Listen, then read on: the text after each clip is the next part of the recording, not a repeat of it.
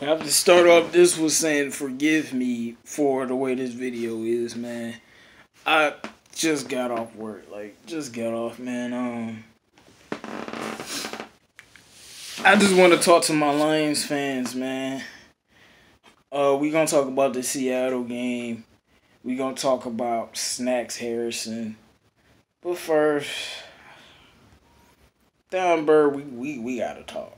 And when I say we gotta talk, Don, I'm talking about like actually talk. So so we, we can hash out some things, man. Not singling you out, but I'm I, like I like I was telling Don, I, I'm just sick of the old Lions fans. When I say the old ones, I'm talking about the niggas that's old in age. Oh, I've been watching for 35 years, young whippersnapper, and they ain't never did nothing. Then stop watching my fucking football team. I don't need people who, who dwell in pessimism. I mean, Don, we beat the New England Patriots. I don't care if we didn't win another game. I don't care what's going on. We beat the New England Patriots. There is no way you can be a fan of the Detroit Lions and after that win, you're not ecstatic or impressed because we never beat the Patriots. Tom Brady has never lost to the Lions. We hadn't had a 100 yard rusher in years. That's a serious win. That's a win that the Lions couldn't get on their best day. But they got it. That's impressive. We go dominate Green Bay 26 to 0 in the first half, impressive. We go dominate the Dolphins, impressive. Three good teams, we dominated. So yeah, we three and three, but we're the best three and three team in the league by far. We're better than some four and two teams, some four and three teams, just like the one we just beat. So that's how we are, man. And um, I just I'm just sick of Lions fans with this pessimism. If you don't think if we three and three and you're like, well, they ain't gonna be nothing, or I don't know that I don't want you here, bro. You either on the boat or you not. You either think the Lions gonna do something this year or you don't. There's no wait and see. Talking to you, Don. What do you think? Comment. Do you think we doing something this year or not? You say yes, then you with us. You say no. If we do something, I'm coming for you. That's all. It's just simple as that. There's no. If you've been watching for 30 years and you didn't why believe in us, say we ain't gonna be shit so I can move on.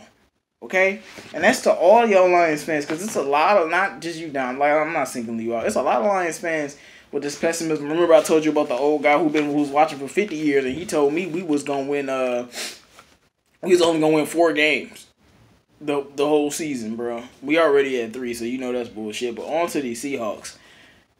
Hey, uh, Lions fans, Lion Nation out there. First of all, before we get to, I'm gonna say this first temper your excitement.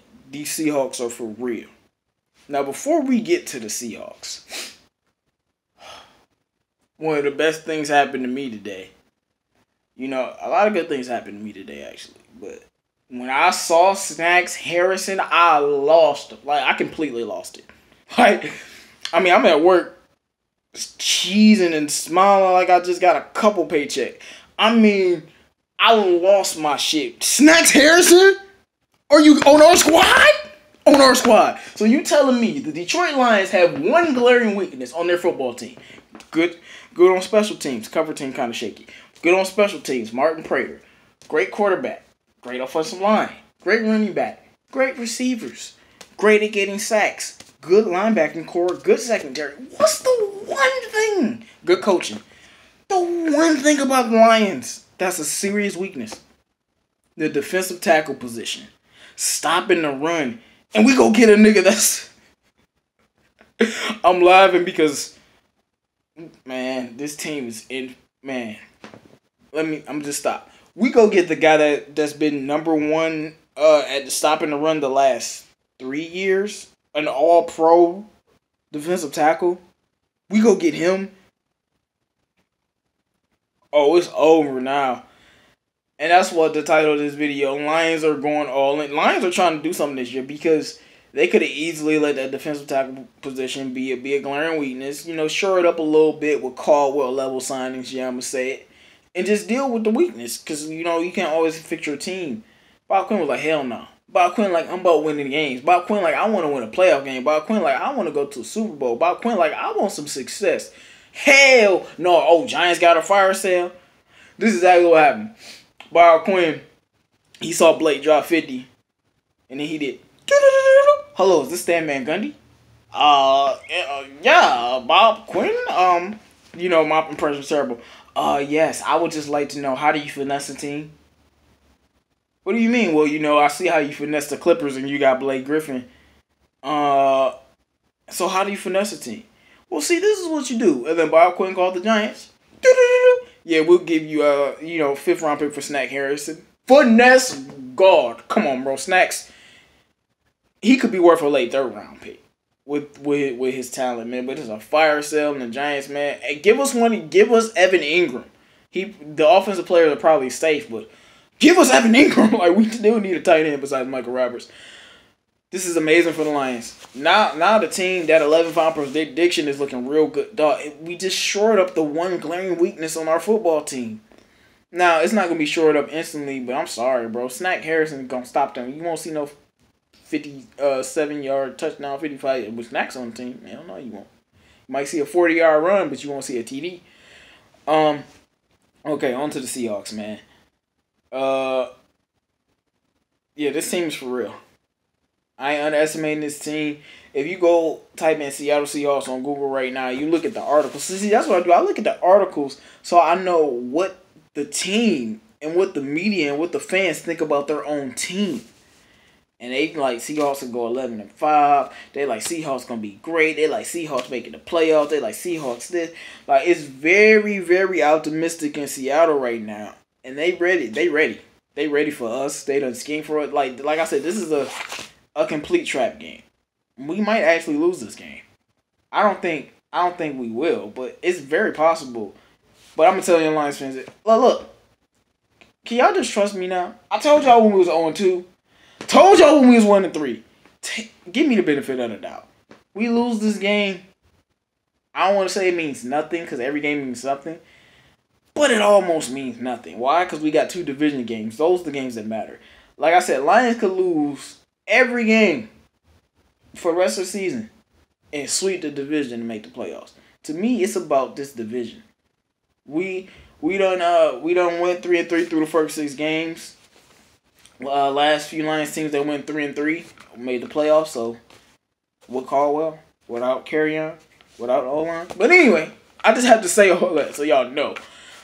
Um. Anyway, yeah, the Seahawks are sixth in defense. They got a good defense even without the Legion of Boom, but they're banged up. Even though they're sixth in defense, I don't think their defense is better than the Cowboys' defense. And I'm saying that to say I think we'll score points. I don't think we'll. I don't know if we'll score thirty though. But uh, it, it's time for the Lions to have that offensive game where we five or five in the red zone. Stafford, it's time for that Stafford multiple touchdown game. Will it be this game? That would be nice, but I don't know. To me, th- this game is about the same thing last game was about Stafford and Kerryon Johnson, bro. Like Stafford, don't turn the ball over. Make the throws, lead us on drive. I mean, Stafford led us on so many big drives. I mean, every time, like if you was watching the live stream when it was ten to seven, like, oh shit, Stafford, you want to win this game. You want to show you big shit. Lead us on a drive. Boom, touchdown. Then they scored again. It, I think it was like 2014. I'm like, okay, Stafford, you to have to dial something up. Let us on a drive. A long, like six minute drive. Field goal. Okay, boom. And then they, they came for us again. I'm like, okay, Stafford. When they scored that third touchdown, I'm like, bruh, let's see what you about. What you to do with it? And he went down and brought us home again. That's the fuck I'm talking about. And that's definitely what I need today. Cause oh Russell Wilson, he coming to play. You know why he coming to play? Because the one thing people don't know about the Seahawks, you do your intel, do your research on these other football teams, because that's how the Dolphins end up like how they were. That's how we end up how we was against the Jets. Because we don't do research on these other teams. Last three weeks, Seattle offensive line has been way better. This Seattle team that y'all seen in the beginning of the season, this Seattle team that y'all have notions about, Throw that shit out the fucking door, bro. This is not just like the Lions ain't the same as we was this at the beginning of the season. This ain't the same Seattle. This is a different Seattle. See, I'm trying to tell you, this is a different Seattle Seahawks team, man. They trying to come in here and really beat us, and they are very capable of doing it.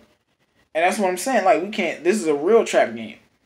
But like I said, we lose this game, go three and four. We were three and four last year, still made the playoffs, and that's what Caldwell. I'm not saying that to say, oh, we can just do this. I'm saying This team is resilient. Like I said, these division games matter. That game, you know, but I feel like this is one of the games we have to win. Like this game in the Miami game, since we lost to the Jets and the uh, 49ers, two games we weren't supposed to lose. Now you got to win some games that maybe I don't want to say now you just got to win some games. Like Dolphins, that's a game we we had to win. Like this game because we lost early, we got to win this game. I'm saying that for seeding because you never know what happens in the season. So I'm saying that for seeding purposes, it'd be better if we won this game. And Seattle trying to make the playoffs, man. They beat us, it's gonna be like Atlanta all over again if they record is good. So this is a very important game, but it won't make or break the season.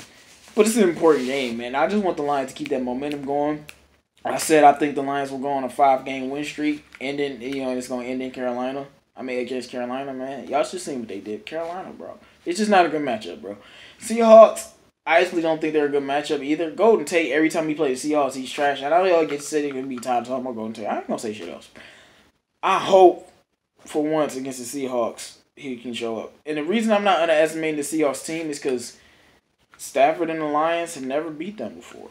I think, yeah, I mean I won't say never, but the last two times we played the Seahawks, we ain't win, bro. And that was even though they cheated. That was at home and one in uh uh Seattle we got to beat this team. Like I said, man, this last thing. Lions have been going through steps throughout the season. To me, this is another step. Patricia had to get over his first game. Then the team had to buy in a little bit. We did with the 49ers. We bought in, we got better. Then we had to go out and do, do something impossible, beating the Patriots.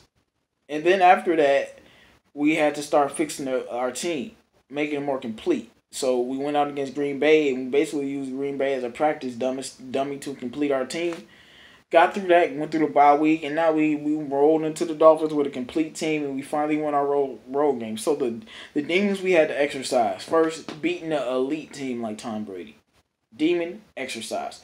Second, beating the great Aaron Rodgers, demon exercise. Third, winning a road game, first road game with Matt Patricia, beating a good team on the road, exercise. Now, it's time for. I think Seattle might be favorite, but I don't know. But now it's time for you to be the team that you're supposed to be.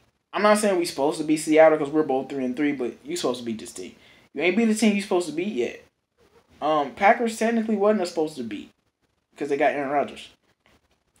Time for you to beat the team you're supposed to beat, Matt Patricia. This is another milestone. Let's get it, man. 313 J Mo. Let me know what y'all think about this game, man. I wish I had a more in-depth review for y'all, but you know how life is, man. Um, shout out to you, Don. It's no hard feelings, man. I'm just saying, bro. You either with us now or you not, bro. Like I don't like that shit. You either own the bandwagon or you not. And I don't care we three and three or one and three. You either own the bandwagon or you not, bro. Be trying to tell y'all, man. This is an eleven and five football team. If we stay healthy, health is a rate is hundred percent in the NFL. I mean injury rate. So you know how that is. But I'm telling you, we healthy. We're eleven and five winning this division. Why? Our division I won't say it isn't that good. It isn't actually. It's just the NFL sucks.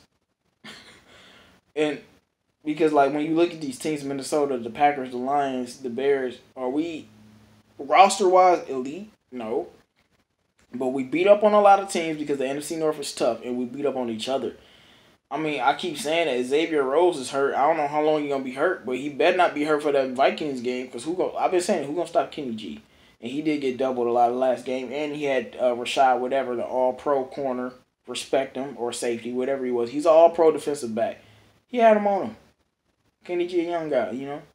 Hey, long video, but 313 J Mo, man, I'm out of here. Shout out to Bob Quinn for trying to like he trying to win now. He ain't about that other shit, bro.